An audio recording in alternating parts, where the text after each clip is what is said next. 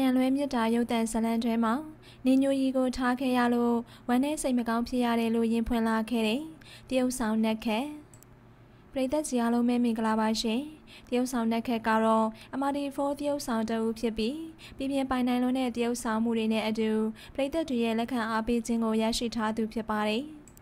ယခုလက်ရှိ MRTV4 ရုပ်သံလိုင်းမှာထုတ်လွှင့်ပြသနေတဲ့ကာယံလွဲမြစ်တာရုပ်သံဇလံတွဲမှာဆိုရင်လေတရုတ်ဆောင်နှက်ခက်ရဲ့ကောင်းမွန်တဲ့တရုတ်ဆောင်ချက်တွေကြောင့်ပရိသတ်တွေရဲ့လက်ခံအားပေးမှုကိုရရှိနေခဲ့ပါတယ်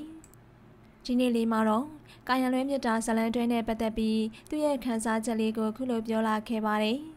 ။တရုတ်ဆောင်နှက်ခက်ကတကယ်ချစ်မိသွားလို့လမ်းခွဲကြတဲ့အခါမိန်းကလေးနဲ့ယောက်ျားလေးကွာကြောင်းပြောပြလာခဲ့တာဖြစ်ပါတယ်။နှက်ခက်က နင်းညိုကြီးကိုထားခဲ့ရတာအရန်တနာဖို့ကောင်းပါတယ်။သူခွင့်လွှတ်လိုက်ရင်ရတာပဲကို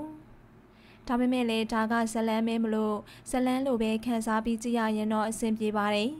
။မိန်းကလေးတွေကတခုကောင်းတာကသူတို့အသေးကွဲပြီးရင်အချိန်တစ်ခုယူပြီးရင်အချိန်တစ်ခုကိုရှောင်ရင်ပြန်လဲတောက်ပလာကြတယ်။ဒါပေမဲ့ယောက်ျားလေးတွေတကယ်ချစ်လို့ရှိရင်နလန်ပြန်ထူဖို့မလွယ်တော့ဘူး။ သူတို့ကသူတို့ကိုသူတို့ဖျက်ဆီးကြတာဟုဆိုကဝေမျှလာခဲ့တာပဲဖြစ်ပါတယ်။